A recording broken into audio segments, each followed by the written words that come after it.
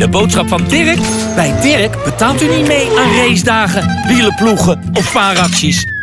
Niet zo gek dus dat Dirk door de Consumentenbond is uitgeroepen... tot de goedkoopste supermarkt voor uw dagelijkse boodschappen. Dat is de boodschap van Dirk. Deze week dubbel fris of taxi. Drie pakken van anderhalve liter voor maar 2 euro. Of Mona gezinspudding. Twee stuks voor maar 1,50. Dus snel naar Dirk.